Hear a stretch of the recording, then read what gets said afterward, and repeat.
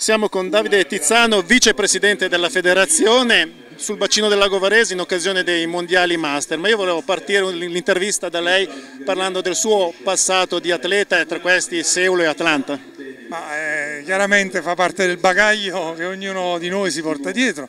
però la, la cosa importante è riuscire a trasmetterlo ai ragazzi, ai giovani, alle ragazze che provano a fare lo stesso percorso, quindi questo è un po'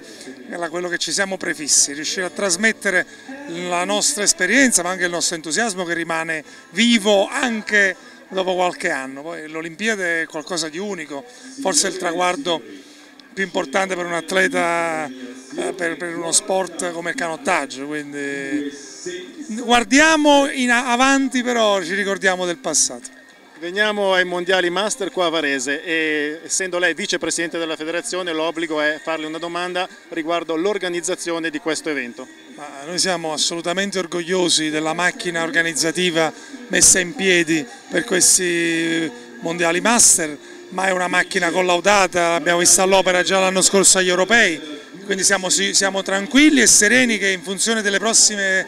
dei prossimi eventi internazionali ci sarà un livello molto alto. Tra l'altro il feedback che stiamo raccogliendo sul campo durante questo evento è importante, sono tutti molto soddisfatti e devo dire che va spesa una parola a favore dei volontari che sono veramente l'arma vincente di questo motore ma soprattutto dei dirigenti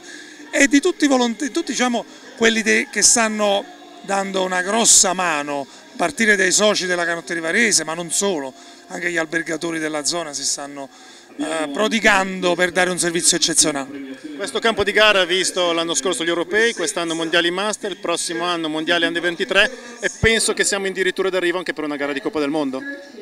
L'accordo che abbiamo messo sul tavolo con il Presidente Galli, la provincia di Varese, ma anche la Regione Lombardia con eh, Antonio Rossi, proprio quello di dare continuità a questo campo sia per quanto riguarda gli eventi ma anche per l'attività di formazione degli equipaggi. L'anno prossimo stiamo per concludere questo accordo che vedrà la nazionale Under 23 qui a Varese per gli allenamenti di preparazione e non solo.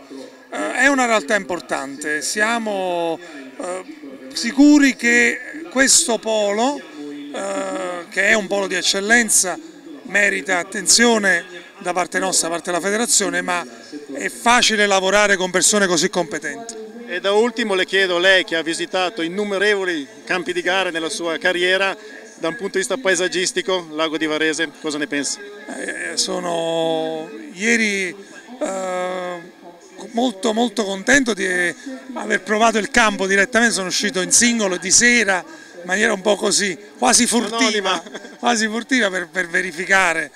eh, le strutture, ma devo dire che il colpo d'occhio è bellissimo, soprattutto all'imbrunire c'è un tramonto meraviglioso e rende più bello e anche piacevole eh, fare canottaggio, che rimane uno sport eh, naturalistico perché si fa all'aria aperta senza inquinare. Questo fa lo spirito un po' di tutti, vivere eh, la natura in maniera forte qui devo dire la verità è veramente bello poter fare canottaggio. Davide Tizzano, vicepresidente della Federazione Italiana Canottaggio e Video Varese è tutto, grazie mille.